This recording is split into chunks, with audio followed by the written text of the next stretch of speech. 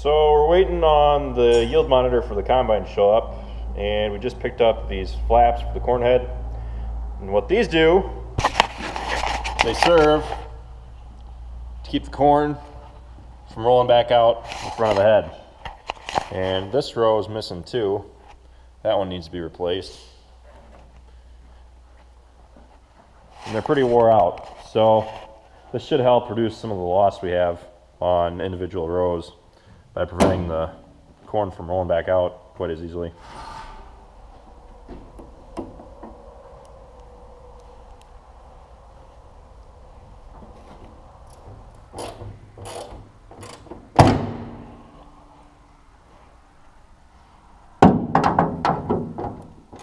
That's the piece I'm excited about right there. This is the 1200 uh, display by Ag Leader. So this is basically their third generation of displays.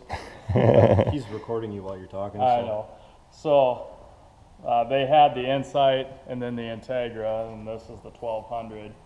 So this new generation display will communicate with other displays out in the field, and uh, it's a brains of the cool. operation. So Cool. can do everything from steering to data ma- uh, monitoring, um, data collection. Pretty much work with whatever color equipment. So, Awesome. yep. This is Andrew from WSAG. He is going to be mounting a yield monitor on the combine for us. Brought everything in. We're going to start mounting it. We were hoping to get started harvesting today, but it rained this morning, so we got put off a little bit. We'll see what the moisture is running tonight, and uh, we're going to mount it this afternoon. So this is, I was telling you guys about that bearing on the end. This should be the adjustment plate, which we might be able to use that one that's on there.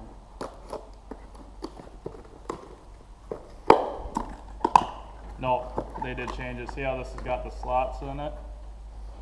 And I asked on yours if it was slotted on the inside because that's how you gotta move it.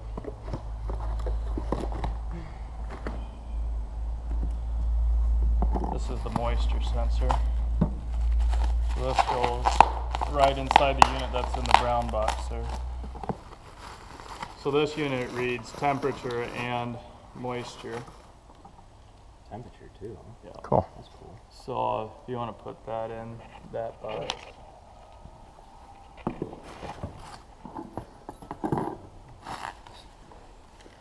We got some pretty awesome dogs around here. The cat looks at them, they run the opposite direction. This is your header height bracket. Hmm? So this is just like the planner where it's going to be mounted on the feeder house, go into Cowan Acres and whatnot. Yep. Wow, I'm sure glad yours mounting this. Not me.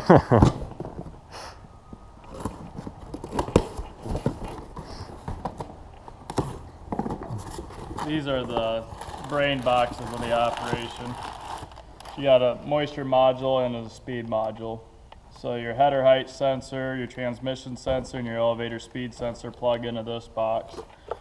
And then your uh, um, side unit that mounts on the elevator plugs into this box. So these two communicate through CAN cabling. So it's just a matter of um, a four wire cable. It reads CAN high and CAN low, and based on the pulses it sends to the monitor, it could, it reads the information. So this mounts on here, like so. And that's, what's that do? Um, this uh, senses the grain flow hitting against it. Oh, okay.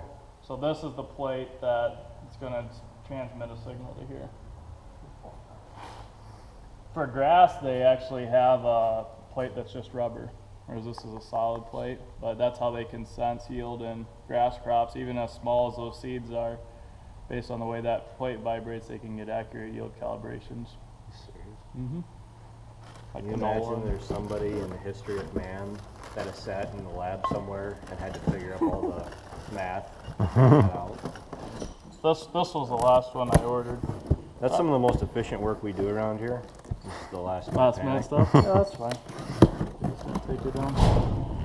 So, what we are going to run, Who are you, white there. man? everything else from one Deere machine to the next is pretty universal though. All right, so here's the sensor.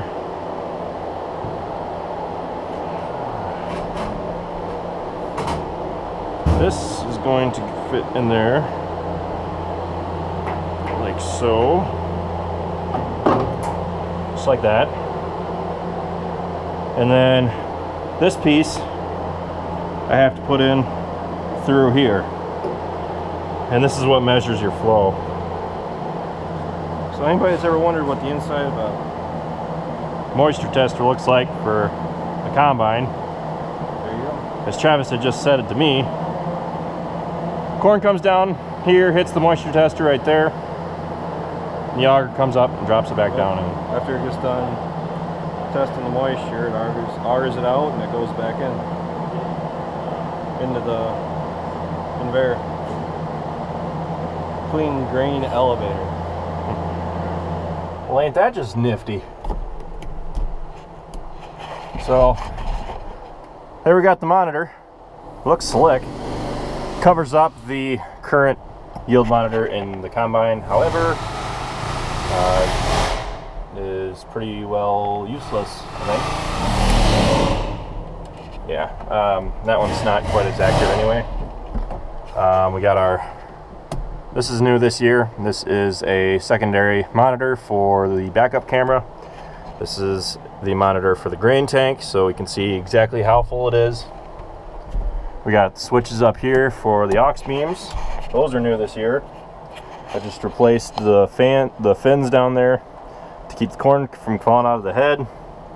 But uh, yeah, we got quite a few new toys for the combine this year. It's pretty cool. We've got everything hooked up now and um, we should be pretty well set to go. Andrew's going to come back and he's going to finish hooking up the monitor and everything.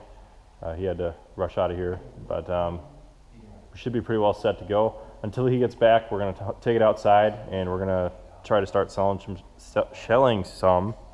But um, I'll make sure to do a video on the monitor and how that and everything works, and um, once we get going and once we're familiarized with it. So uh, yeah. Yeah, thanks, Andrew. Yeah, thanks, Andrew.